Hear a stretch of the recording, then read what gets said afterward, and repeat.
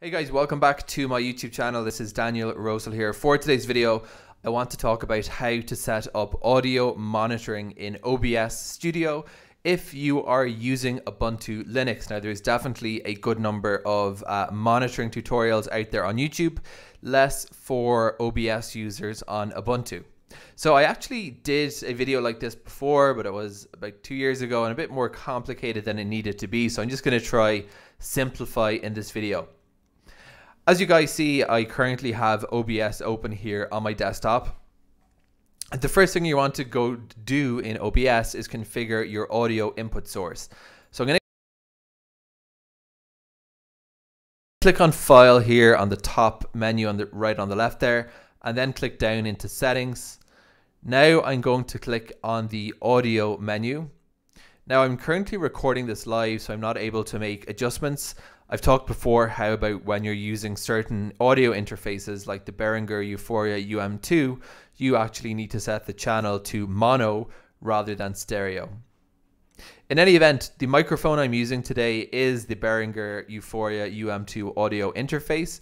And as you can see, just to keep things simple, I've disabled other non-active audio sources. So that's the first thing I recommend you're doing when you're monitoring because it can get confusing if you have multiple audio streams coming into OBS that you're not using. So this is it, PCM 2902 audio codec analog stereo. That's what I want to monitor. So I'm going to click OK here.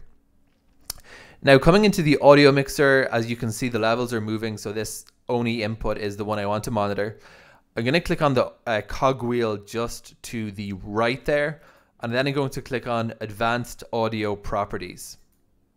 Now, in Advanced Audio Properties, we have the name of the microphone, status, we can configure a gain boost, we can configure the left-right balance if we are using stereo, we can configure a sync offset if there are any latency issues. I'm using 60 milliseconds of latency.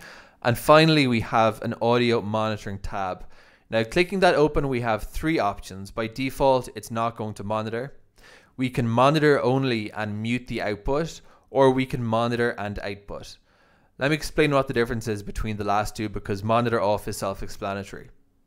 If you do monitor only and mute the output, as the name suggests, you're just going to be monitoring that audio stream and it's not actually going to be making its way into the recording. So the vast majority of times you're going to want monitor and output. You're going to want to monitor the stream and you're going to want to record it. So I've just clicked monitor and output and it's a little bit distracting now because I can hear myself speaking as I record because I'm using OBS to record this.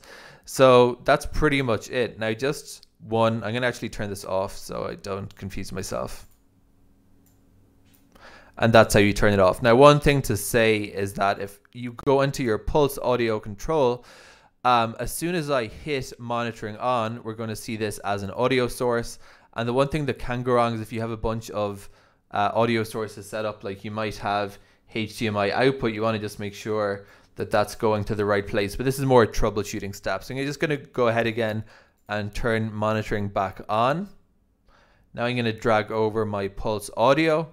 And if we go into playback sources, we have a playback channel for OBS monitor and it's going over built-in audio analog stereo. If if I were to send that to the interface, I'd get a loopback and it would not work out as intended. And that's basically it. I'm going to go monitor off. So if you're looking to monitor your audio source in Ubuntu using OBS, that is how it is done. Definitely, uh, this is something really, really worth doing because it's always easier to make sure your audio sounds good before in pre-production rather than trying to fix your audio afterwards in post-production. Thank you guys for watching this video. If you'd like to get more videos from me on OBS, Linux, technology, and other subjects, please subscribe to this YouTube channel. Have a great day.